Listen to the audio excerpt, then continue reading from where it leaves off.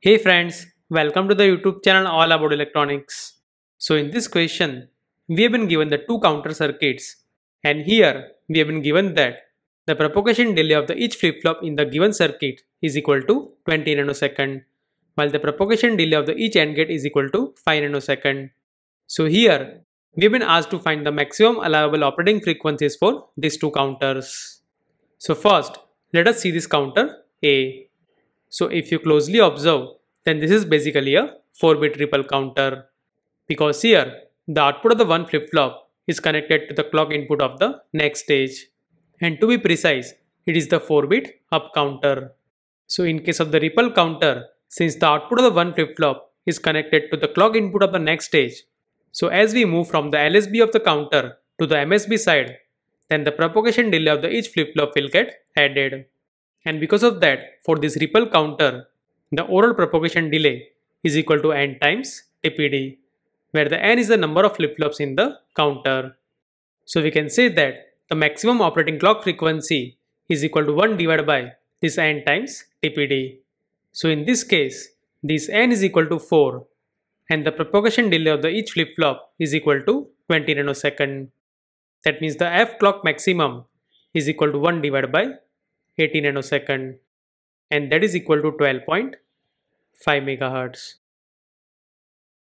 So similarly, now let us find the maximum operating frequency for the counter B.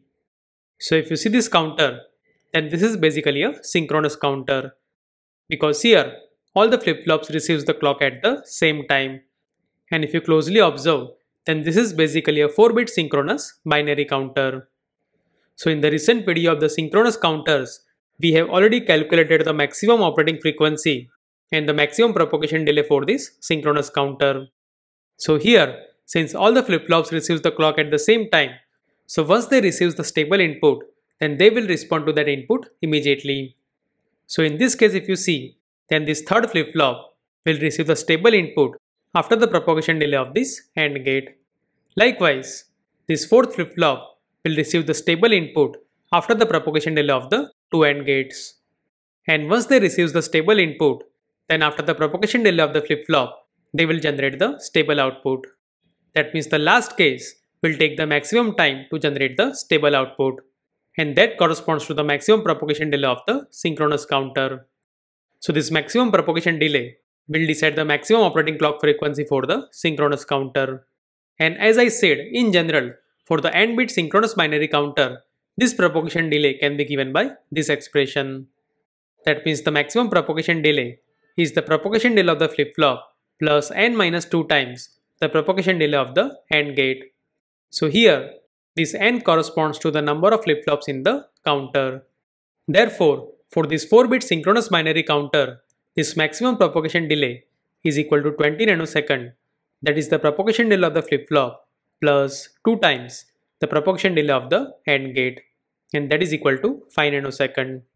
That means if we see the overall propagation delay then that is equal to 30 nanosecond. And from this propagation delay we can easily find the maximum operating clock frequency and that is equal to 1 divided by 30 nanosecond which corresponds to 33.3 megahertz. So from this we can say that for the first counter the maximum operating clock frequency is equal to 12.5 MHz, while for the counter B, the maximum operating clock frequency is equal to 33.3 MHz. That means we can say that for the given question, this C is the correct answer.